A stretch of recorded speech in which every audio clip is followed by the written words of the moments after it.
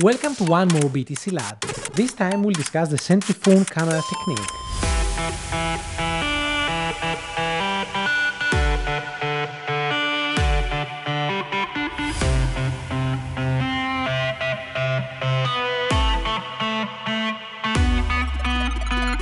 Back in February 2016, skier Nicolas Vuignier captured the world's imagination with a video shot using his Centriphone, a plastic glider that lets you swing a camera around your head and have the lens constantly pointed towards you.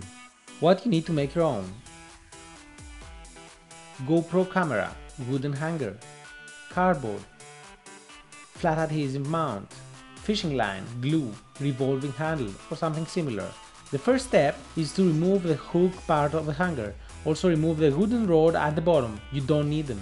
Apply the flat adhesive mount to a smooth and fully clean surface. A textured surface or any imperfection to a smooth surface can keep the adhesive from making a strong bond. Optionally, you can screw them out to the hanger, but be careful, the screws must be flush to the surface, otherwise the quick release buckle will not be able to slide in and out. Firmly press the mount into place, ensuring full contact over the entire surface area. Be sure to apply the mount at room temperature and also allow at least 24 hours for the mount to properly adhere to the surface. Locate the holes at the bottom of the hanger and drill them all the way through.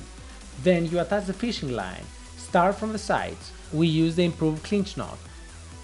Measure approximately 120 cm and cut it.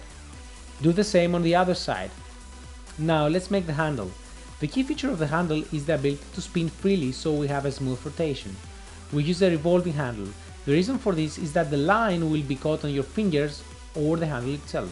This will result to a non-smooth rotation or an abrupt end of the flight. Finally, we attach the line to the handle using the same knot. The final part is the cardboard fin. We cut a triangular fin out of the cardboard and attach it to the side of the hanger. This will help to stabilize the Centriphone during the flight. Now let's attach the GoPro. We attach the camera to the quick release buckle and slide it in the flat adhesive mount. We can use the rubber locking plug for extra security. Don't forget to tighten the screw. One final touch and we are ready to fly! Now the fun part, here are some video shots with our Centriphone.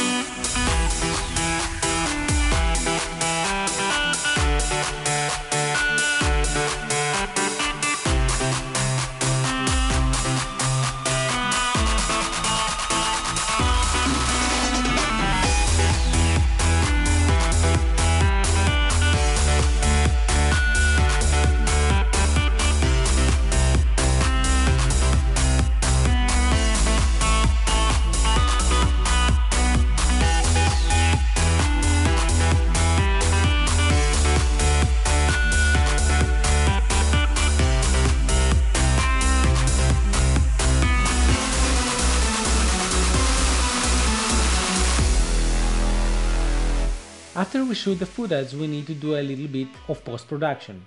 Because of the high frame rate the video is too fast so we need to slow it down. We can use a program like Adobe Premiere Pro. To do this, let's follow the following steps. After we import video and drag it to the timeline, we right click on it and select speed duration. Then on the speed percentage field, type for example 30%, then click OK. This will slow down the video from 120 fps to 36 fps and will give a slow motion effect. Don't go under 24 fps. Here are some useful tips. Experiment with the angle and the position of the camera buckle so that you don't see the wooden hanger. Keep a steady pulse for the rotation. Slow rotation will lead to jiggling.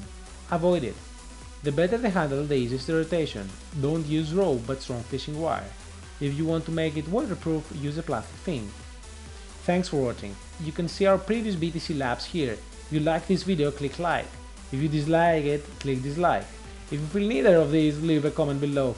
Don't forget to subscribe in any case and see you in the next BTC Lab. Our first try was much easier and also let's say for the GoPro, but it was good enough to make us want to learn more about this technique.